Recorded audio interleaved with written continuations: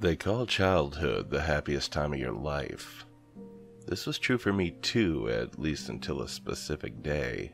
After that nightmare, guilt and therapy replaced my happiness.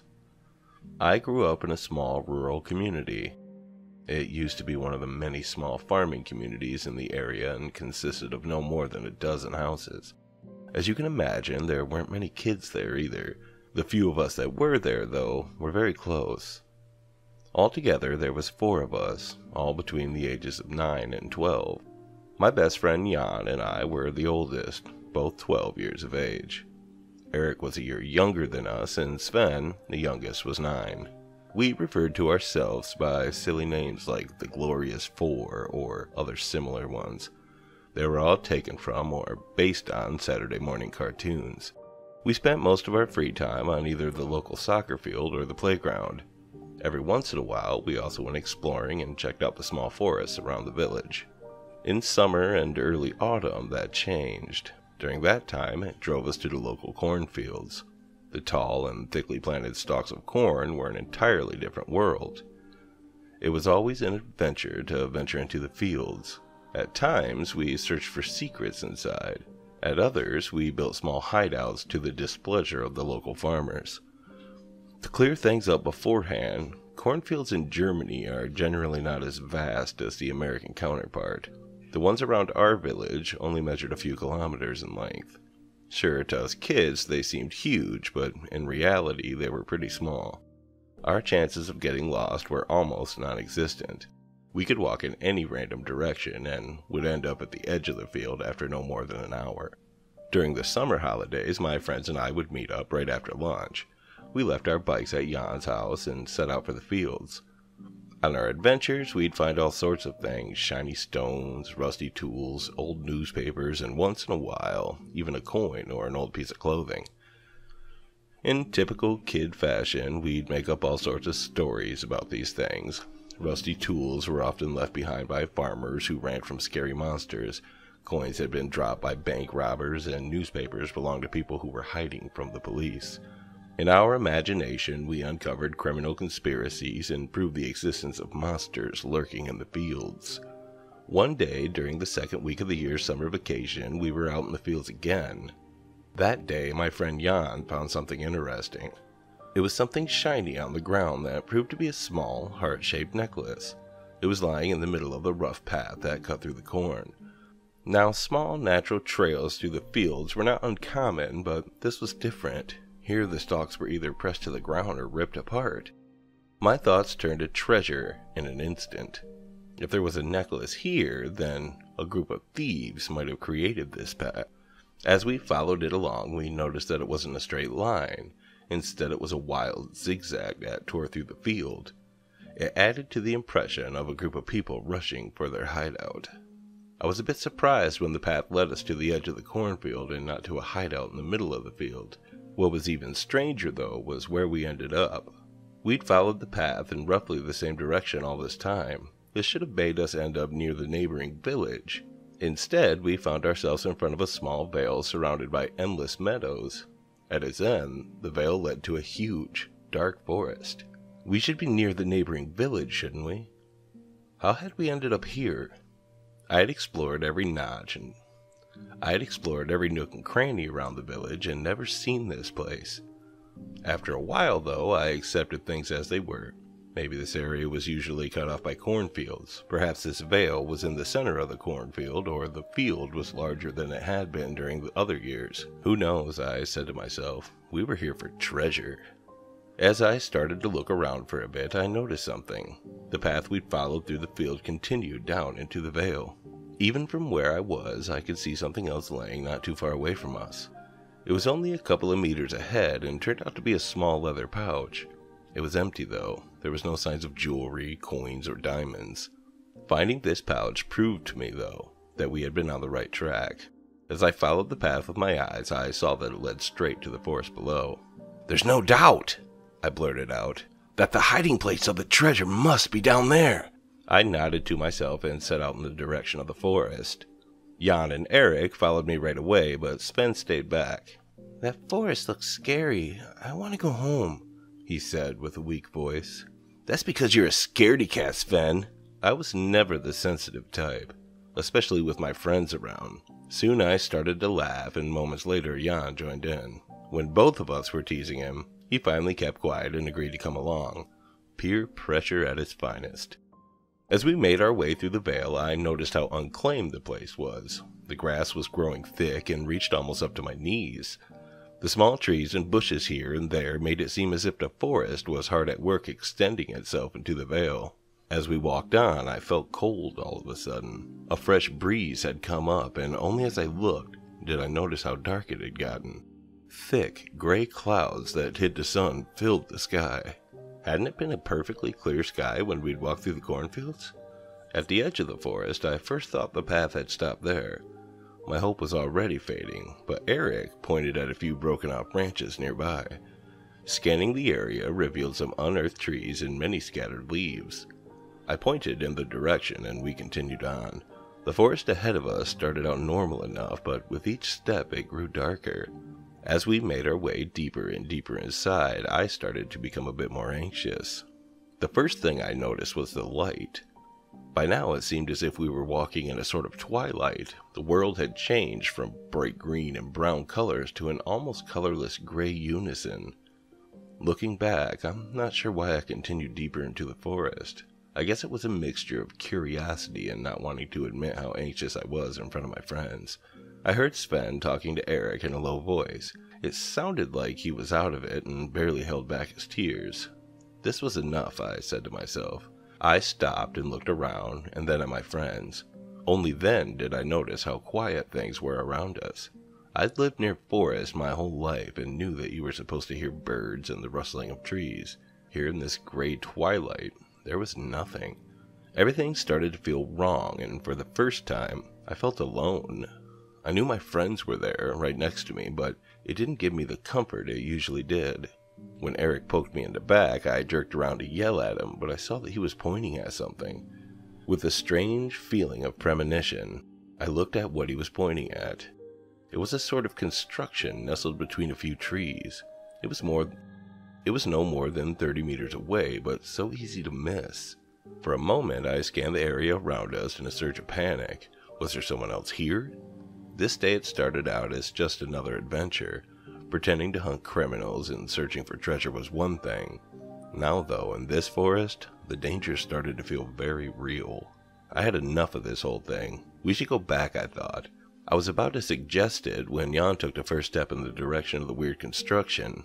Let's check it out, he whispered with a grin on his face. What are you? I started, but then nodded. I didn't want to admit that I was afraid, so, against my own feelings that things were wrong, I followed him. Eric tagged along after a while, but Sven stayed where he was. I couldn't blame him. As we got closer, I saw that it was sort of a hut. It was constructed from nothing but sticks and branches of various size. The roof was covered by leaves, grass, and dirt. Only now did I see how big this whole thing was. The whole area in front of it was devoid of grass. It looked as if even the forest vegetation was retreating from the place. My skin started to crawl as I followed Jan. This was wrong, a voice in my head said over and over again. This was not a natural thing or some animal den. No, this must be someone's hiding place.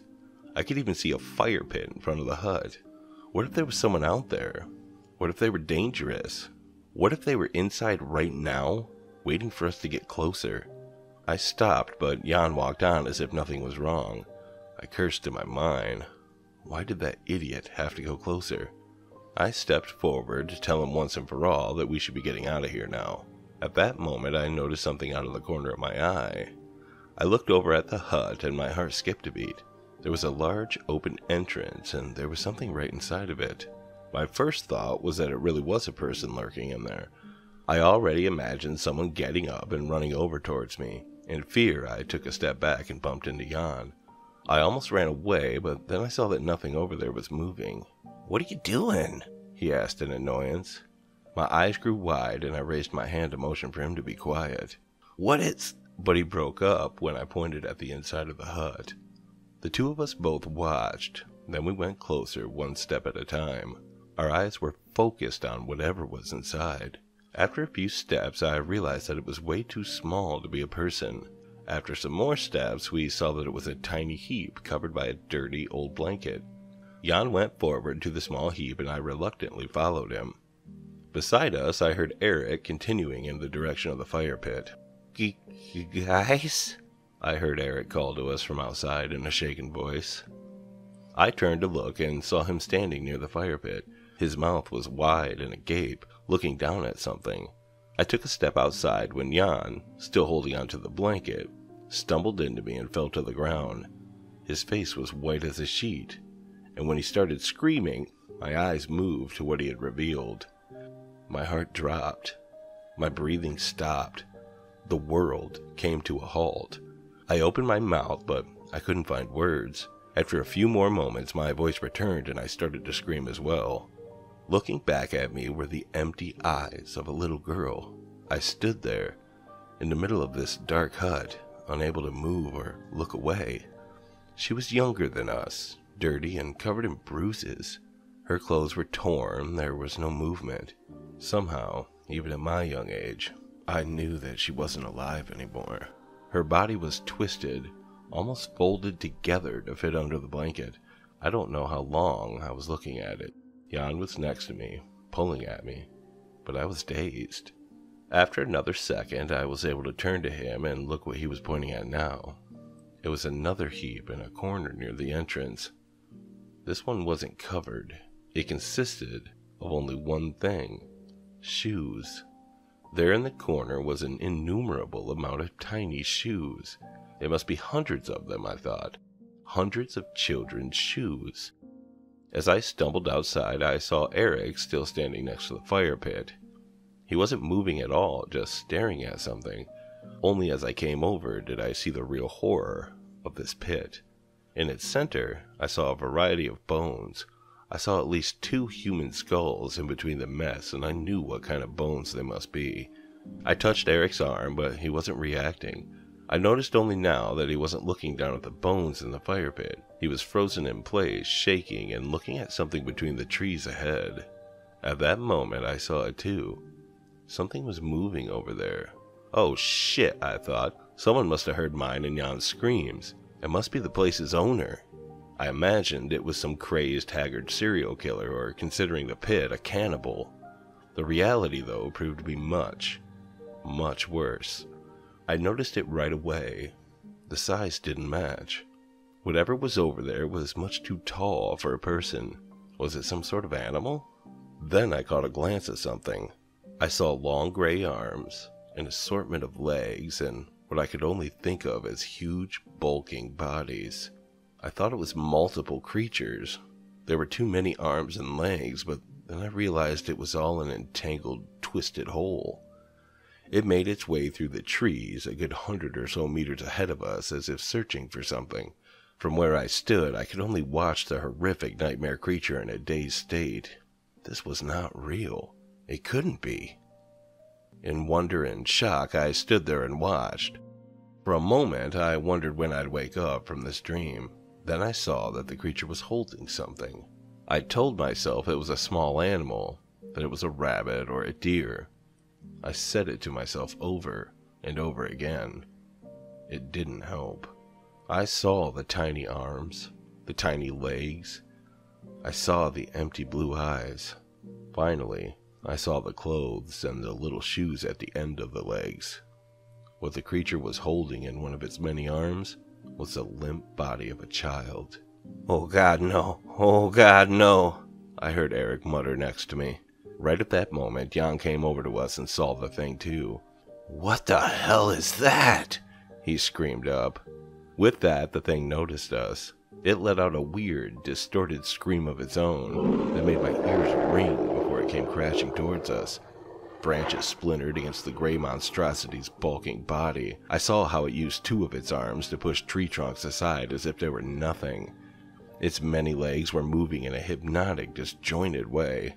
I was still in shock. For a few moments, I could only watch as the surreal beast came closer and closer with each second. As I remembered the shoes, the bones in the fire pit, and finally the dead girl, I realized this would be me too. I saw the rest of my friends. Jan was tumbling backwards, Sven was standing 10 meters behind, crying, but turned to run. Only Eric and I were still standing here. Finally, I snapped out of it and pulled him after me. As we started to run, the thing screamed once more. With each passing second, I knew it was coming closer. I could feel the ground shaking with each step of its many legs. I turned around, sure to see the thing reaching out for me, but no. It had stopped in front of the hut. It must be the thing's hideout. It dropped its prey and then started to move its head around. It looked as if it was sniffing the air. Was it blind? I had no idea, and I kept running. What the hell was this thing? Where were we? My legs ached and my lungs burned. For a short moment, I slowed down to catch my breath, as if to answer this decision. The creature screamed once again. Oh, please, no. Just stay there. I prayed to myself. I didn't have much luck. The noise behind me was enough to know that it was coming after us again. It sounded as if a truck, or better a tank, was crushing through the forest behind us. I heard the splintering of both trees and branches. It was as if nothing could stop the thing. Finally, I saw the edge of the forest ahead. Then I reached it and then rushed outside into the small vale. My friends were all ahead of me, even Sven. I didn't get to focus on them. Only seconds after me, I heard something huge explode out of the forest as well. Branches and twigs came raining down all around me. I looked over my shoulder once more. I saw the sickly gray and leathery skin of that centauric monstrosity only a dozen or so meters behind me. This time I was able to make out the deformed head. There was a gorging maw and a weird bony hole above it. Where the thing's eyes should have been was only grown together scar tissue. The thing's four arms were all reaching out for me. I remembered that its hands had too many fingers. I don't know how many there were. They were almost as thin as twigs, but much longer as if they had too many joints. Right at this moment, I tripped over a hidden stone in the tall grass. For a few more steps, I went on before I crashed straight into the ground. Jan, who must have seen me fall to the ground, turned towards me. Our eyes met, grew wide, and he screamed at me, Get up! Get up! Get up! Right then, the creature behind me turned around.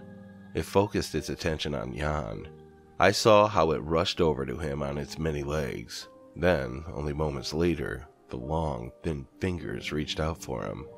The thing let out a triumphant scream as it caught my friend's squirming body in one of its hands. He screamed in pain, fear, and confusion. I saw tears streaming from his eyes. He struggled against the grip and then reached out his arms towards me. Tom, help me! Tom! Tom, help me! He screamed my name over and over again as the fingers closed around him. I watched. I shook my head. The only thing on my mind was not me. Oh dear God, the thing has not gotten me. I can't let it get me. I have to get away. I jumped back to my feet and I started running again. All the while, Jan was still screaming after me. I didn't look back. I couldn't. I only ran. I didn't stop. I fought my way up at the end of the vale towards the edge of the cornfields.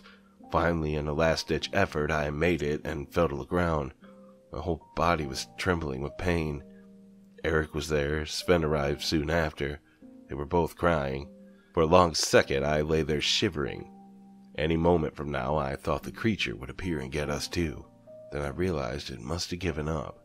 That's when I remembered Jan. I turned to look down towards the vale and the forest. It had happened right next to me, but I didn't want to accept it as a reality. I hoped, no, prayed, for my friend Jan to come running up here as well. Instead, I saw only the grayish monstrosity as it made its way back.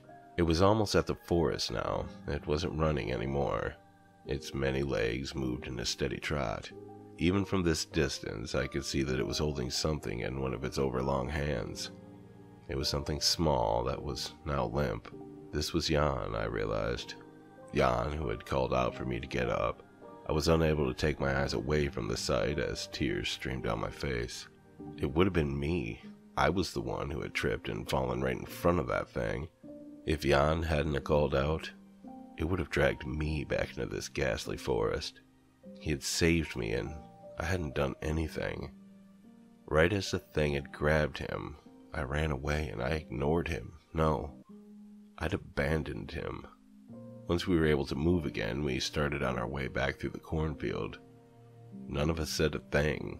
Sven was still crying, even now. Eric was as lethargic as I. No one said a word. No one mentioned that as soon as we made it out of the vale, the sky was clear once again and the sun was shining down at us. In our confused state, it took us hours to find our way back. Each sound we heard made us turn around in fear of the creature. When we finally made it home, it was already late in the evening. At first, no one in the village believed our story. When Jan stayed missing, though, the adults couldn't ignore it anymore. They talked about criminals and kidnappers hiding in the forest. When we told our story, they all disregarded it. They attributed the monster and everything else to our imagination and fear. A police search was started. They combed the whole area, searching through the forest and the meadows. Finally, they even checked the cornfields. They found nothing. There was no hint of the tiny vale or the thick forest behind it. It seemed as if this entire area, as well as the monster, had never existed. It was the same for Jan. They never found a hint of him. Nobody, no remains, nothing. He too had all but vanished. I grew older and finally moved to leave all this behind. There was one thing I couldn't leave behind, though my memories. For years I went to therapy, but it didn't help. Many nights I wake up covered in sweat. In some, I see the monster and its gaping maw again. In others, I hear my friend screaming out for me and seeing his pleading eyes again. There are also those nights in which I lay in bed, wide awake, wishing my friend would not have called out for me.